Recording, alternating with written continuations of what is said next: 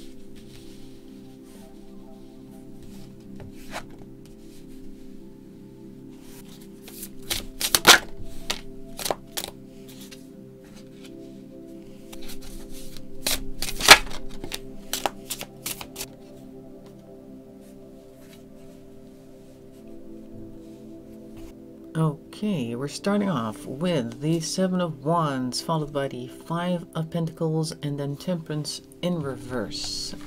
So, what I heard of Jared's story was that he was unable to keep up with his fellow scouts on the way up. And uh, there are stories that say that the, the leader said, okay, just wait here, we're going to go to the summit, and then we're going to come back down, and we'll pick you up, and we'll go back down together. And that he was supposed to wait there not entirely sure if that is true or not. Some people say it is, some people say it's not, but it kind of looks like there was at least a challenge here. Something was really challenging him, followed by the Five of Pentacles, which is kind of like a bankruptcy thing. You're running out of resources, and then Temperance in reverse. So this kind of looks like uh, he was challenged, first of all, to get up that uh, hill, which he had trouble doing and perhaps also challenged in the way I feel this is more of a challenge of uh, other people kind of like making fun of him because he wasn't able to keep up, maybe. And the Five of Pentacles in this case, uh, resembling more him feeling really bad about the fact that he had to wait there, that he wasn't able to put in as much resources as the next person. And the uh, thing itself, the card says animal shelter, so he may have felt like him waiting along the trail was almost like him being abandoned and left behind, and he was not happy with that at all, which we can see with Temperance in reverse. So I'm thinking that he is feeling uh, left behind, and this is definitely not making him feel very good about a situation. And he probably lost his cool as a result of that.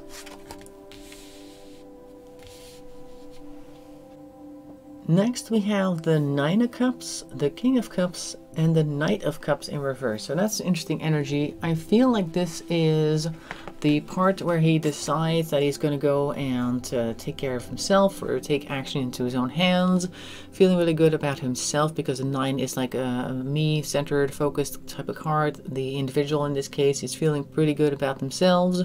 So I think that they thought that they would be able to do things on their own. The king energy is definitely somebody who feels like they are in control. And this case, it's the King Cups. Maybe he felt like he had conquered a fear or conquered some type of emotional distress or uh, perhaps the uh, ill temperedness from before and now was taking matters into his own hands. Uh, Knight of Cups over here is kind of like disregarding perhaps certain feelings that he may have had. Normally, Knight of Cups is somebody who is focused very much on their own internal world, uh, doesn't tend to uh, keep other people's feelings in um, perspective too much, kind of just like focusing on themselves, not necessarily in a selfish manner, but more like just not being able to see anything else, just like you can see the dog has the cup on its nose, and that's pretty much all it's going to be able to see. And the heart is inside the cup, so focusing on their own heart, on how they feel about things. But I think in this case, it's more of an ignoring certain feelings that they may have had like certain feelings of trepidation perhaps, uh, may also have uh, ignored how other people may have felt coming down the mountain and not being able to find him where they left him. So kind of like ignoring any like red flags or something along those lines that came up as he was uh, going on his adventure. I think that he took matters into his own hands here and uh, just didn't stop to think how other people might feel about it and maybe also just kind of felt a little restless as well in the location where he was at. Nine of Pentacles in reverse, the Ace of Wands in reverse, and then we have the Knight of Swords. Alright, so he is on his way, setting out on his own little journey here. First Knight of Pentacles in reverse, that is definitely taking actions without considering the consequences too much. Uh, possibly also a little bit foolhardy is the word that's coming up uh, for me right now. Ace of Wands is uh, the same but times 10 in this case because it's the Wands energy like the Wands card and it's in reverse like the new initiative that he's taken is a bad one. Like the Knight of Pentacles is a bad investment. Like he's just wasting his time. Perhaps he's also eating food that he probably should have kept for longer something along those lines. Just kind of like uh, in a similar vibe as the Knight of Cups on the top row just not really taking anything into consideration possibly, like I said, foolhardiness, just kind of not really thinking about the negative consequences that could result from his actions and the things that he should have probably kept on him. Just not really thinking about that at all, not thinking about the future and what possible uh, trouble he might encounter, and therefore just using whatever resource he has uh, in the moments. Ace of Wands is making the wrong decisions. Uh, this is a dog that tends to bark a lot, I think. Uh, he may have uh, thoughts that he had a similar energy to him at that point, like the small dogs that think that they're really big and therefore can handle anything. Uh, I think that's kind of what we're seeing here as well, just taking initiatives that they probably shouldn't have and thinking that they're going to be okay. Uh, we have here the Knight of Swords upright. Uh, swords are words and thoughts and also logic in this case. I thinking that he was taking a few too many logical leaps and bounds. Maybe he thought for instance, that he knew a way to get back to camp faster.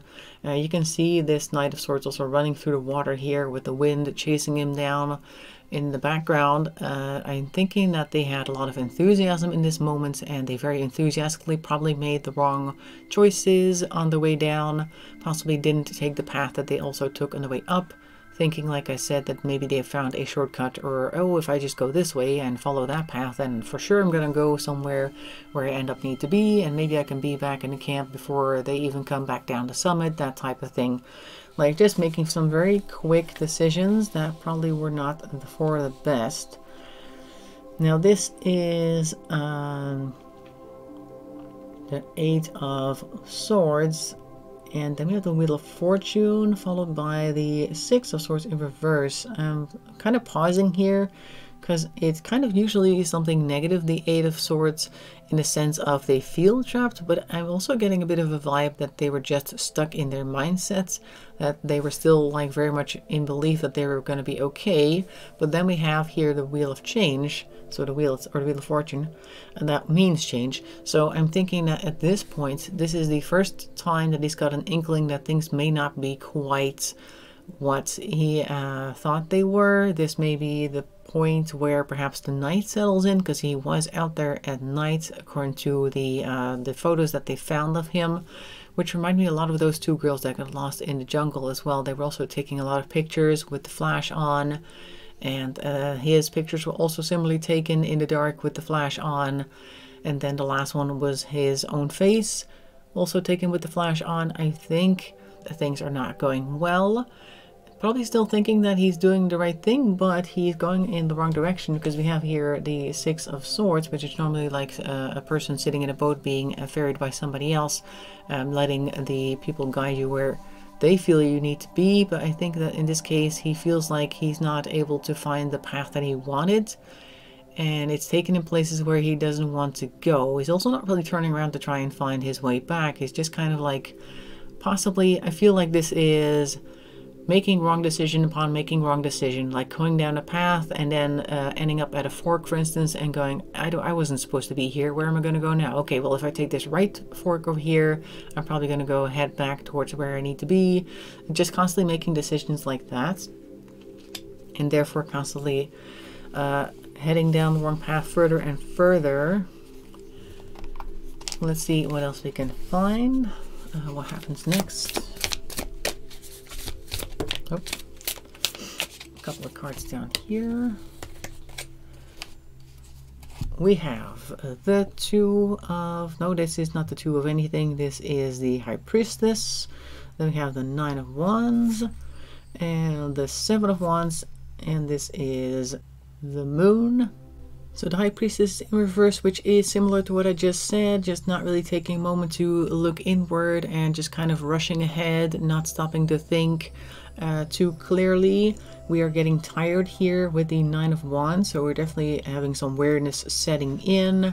And then we have the Seven of Wands in reverse again. So this is a point where I feel like the Seven of Wands energy that was started off here is now coming home to roost. Like over here on the top, he was still feeling like people were coming for him for the wrong reasons. But over here, it almost seems like he's feeling like they were right. Like, oh no, uh, actually, all those people who thought that I couldn't make it, maybe they're right about that.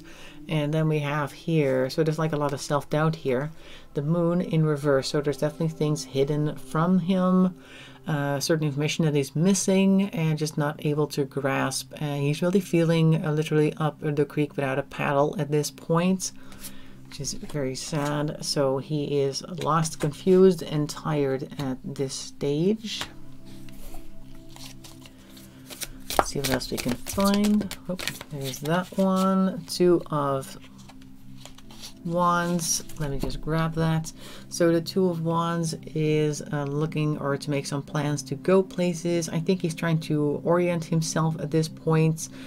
I feel like this this might be the part where he takes out his camera and starts shooting pictures because he's trying to get his bearings. I feel this person's overlooking uh, the landscape. They've got a globe in their hand, like they're trying to read a map, and uh, also looking out across the land to see if they can see any matches between the map and what they see around them. So they're definitely trying to find their way here.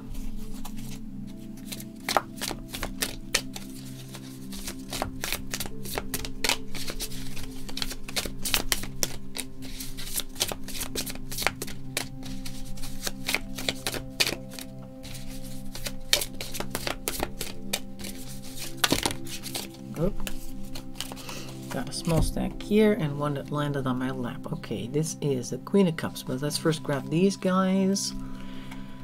This looks like the King of Cups. Alright, we have both the uh, the royals for the cups here right now. But that's one. You have the Sun reverse, you have the Four of Pentacles, and the Six of Wands. Alright, so we have both of these. I'm thinking that he may, at this point with these two, be uh, feeling uh, lost and alone. It almost seems like they're remembering or fondly remembering trying to remember the advice of their parents or other people whom they feel very closely connected to because the cup's energy of course is emotions. Uh, they may have uh, longed for the mother at some points the king of cups is in reverse so i'm very curious about that. Maybe that they feel like their father may have been angry with them or something along those lines. It kind of looks that way because both the royals are here. One of them is positive and the other is negative in the sense that it's in reverse. So he may have had some time to consider his parents and how they may feel about him in that moment. Uh, the sun is going down, could be literally, could also just be that his energy is fading, his enthusiasm is definitely fading, his emotions are very negative at this point. And now we are looking at the Four of Pentacles where we have to preserve our resources. So now we are looking at uh, what we have left in our backpack and what can we do with it, how long will this uh, last me like they found candy wrappers and beef jerky. So he didn't eat the beef jerky. So he may have been trying to hold on to that for later possibly.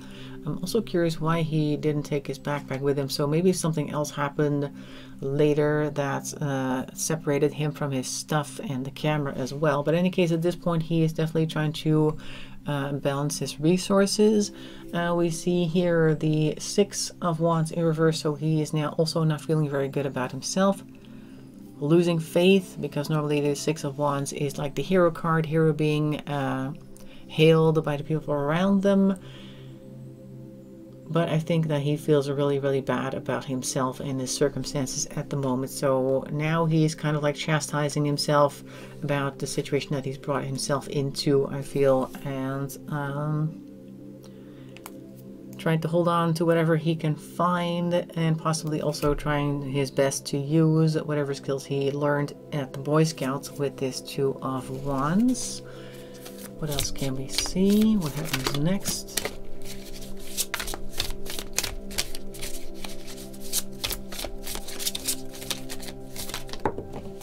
Oh, okay.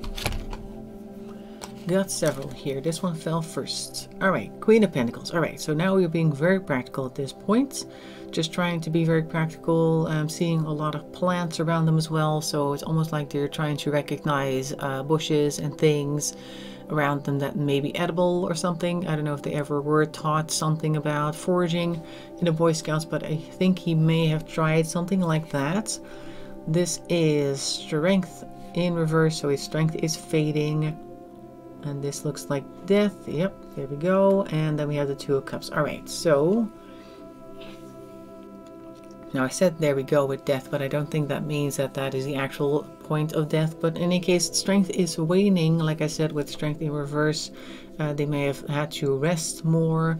Uh, this point, uh, there's definitely a change. I think this death card is more pointing towards the fact that he feels like, okay, we've definitely closed a chapter here. Uh, like when you go out into the wilderness with a group, you kind of carry civilization with you in your mind, even though you're in the middle of the wilderness, but you really are in the middle of the wilderness. And I think at this point, he realized that this was no longer his world that he was used to, that he was walking around in, but this was really out in the wild where he had no control and no idea where he was or where he was going. Kind of like that closing of a chapter, like, okay, this is really all of that stuff that I'm used to having around me is no longer here. I really, really need to change my mind and we see here the two of cups which is normally like signing up to a certain uh, mindset or meeting somebody uh, connecting with somebody but i think this is more of a trying to connect to his new environment maybe even coming to terms with it like very quickly uh, just realizing his situation and trying to be okay with that or trying to find some way to be okay with that changing his mindset about the whole ordeal. Don't have a lot of space on this row, so I'm putting these over here. All right, let's see what happens next. For that, we're going back to the Wise Dog Tarot.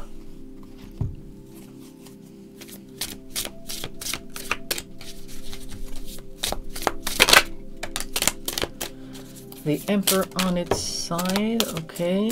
And we have this card. Ten of Wands, so we're very, very tired. I'm thinking the Emperor over there is definitely somebody whom he really uh, felt has some type of authority over him, and maybe somebody that he looks up to. Like maybe he's trying at this point, trying to remember everything that this person told them, but he's also feeling very tired. Although the Ten of Wands is a bit of a just carrying the last bit of the way, and then I'm able to drop my load type of card. So maybe he felt like he only really needed to go just a little bit further. And also we're looking at a dog that looks very tired and it's nighttime behind him. So I'm thinking that this is them struggling through the night and trying his best to hang on to the advice and the information that he was given by uh, somebody whom he really trusted and respected. Possibly not following the, the advice uh, quite as intended. Let's see, Queen of Pentacles in reverse. Okay, so now we're making choices that are not great. We have kind of lost the energy that we had over here with this Queen of Pentacles. Here we are being very practical, but here we are making decisions that are not great, probably because he's tired. Possibly losing focus. Maybe um, feeling like he's almost there with this Ten of Wands card, but it's not quite true, and therefore he's now using up resources that he probably shouldn't have because he thinks that he's going to make his way out and it doesn't matter anymore. Kind of like how they say when the horse smells the stables, they start running faster, kind of like that, but in this case, there's no stables for them, at least not where he expects them to be. Let's see what we have here justice. All right, so normally they would feel like they were making the right decisions, things going right for them. They probably really feel like uh, they're reaching the end, the correct end, so to speak. All of the dogs here have their eyes closed, so maybe they're thinking that they're going to make it. But the scales are even, so it's not quite going one way or the other.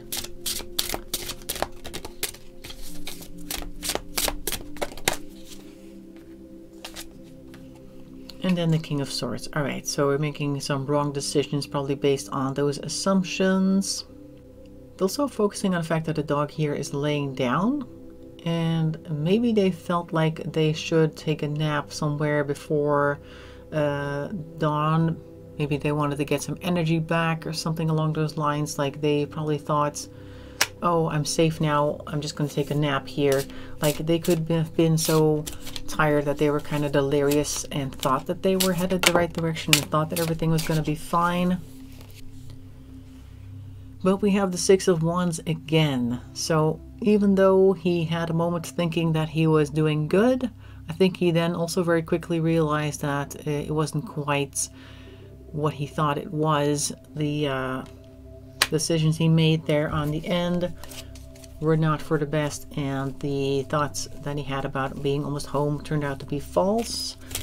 Once again, feeling really bad about himself. Like feeling like he let himself down, I think.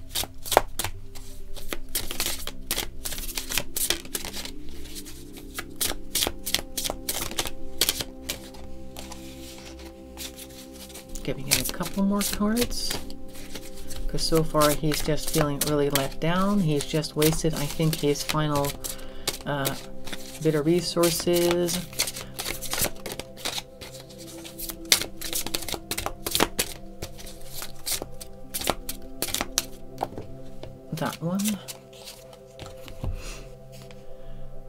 The lovers. Alright, so we're back in that Two of Cups energy, but slightly stronger in this case. Um, and we see the bird rising. I feel almost like this is more like the pleading energy that we had before.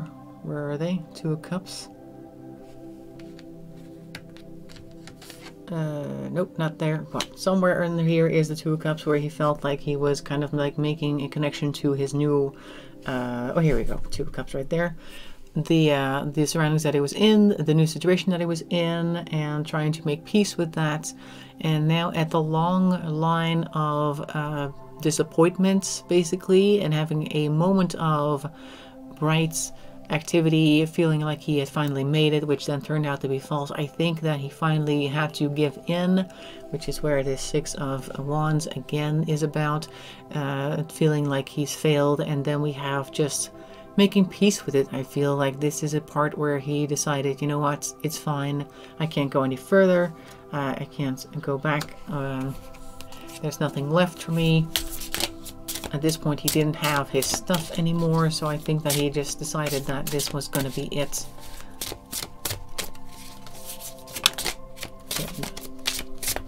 That card jumped, but didn't come out. And that one jumped and definitely did out. Okay, so I think this is the final card. Seven of Pentacles. Yeah, so this is definitely chickens coming home to roost. I think this is him uh, making up the uh, the balance sheet, so to speak, of what has happened so far, and just kind of feeling like whatever happened to him were indeed the results of the things that he planted, the seeds that he sowed, and just uh, accepting that. I want to say also the dog is pulling one off the vine so i'm thinking that he is yeah that's definitely a form of accepting the things that have occurred as results of his actions taken. Now are we ever going to find him though? Because we haven't seen anything of his other than his backpack and the camera. Oh. four of cups kind of in reverse. So there is no choice I'm thinking this means that we're not ever really going to see anything. Like, there's no choice but to stay in this situation. I feel like there's nothing to be found anymore, perhaps. Or is in such a place or location where people just don't think to look. Kind of reminds me, uh, there was this game uh, back in the day called Firewatch and there was this kid who had also gone missing in that park and they had eventually been found because they fell through a very narrow crack into a cave that people hadn't been in in ages. Kind of like some place like that i feel like it might be where he ended up. Like just a place where nobody really thinks to look because it's so narrow nobody thinks that anybody's ever going to go down there or uh, they couldn't possibly have gone up there or something along those lines. Just a very unexpected location where nobody's going to check. I think that is maybe where he is. Where his remains are. Now i don't know that location obviously so i couldn't tell you where there are places such as that along the area where he may have gone but i feel like he may be in a place like that so that is what i'm seeing for jared negrete uh, I hope you found that interesting. In any case, make sure to leave a like and a comment. That really helps the channel along. If you'd like to subscribe, that would be very nice as well. Uh, thanks very much to anybody who wants to do that. I hope to see you in another video. Uh, thanks for watching, and bye-bye for now.